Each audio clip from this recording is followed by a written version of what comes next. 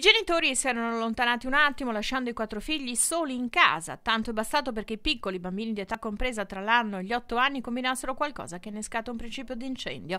L'episodio è avvenuto in un'abitazione di Sant'Ambrogio di Valpolicella nel Veronese occupata da una famiglia di ganesi. Le fiamme sono partite dal piano cottura della cucina e sono state spente in pochi minuti dai vigili del fuoco che sono intervenuti tempestivamente.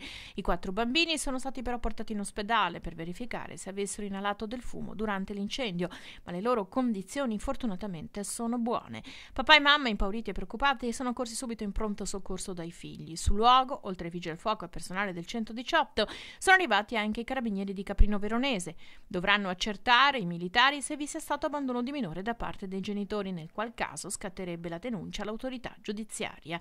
Gli adulti non erano molto lontani dall'appartamento, certo hanno lasciato privi di custodia dei bambini davvero piccoli.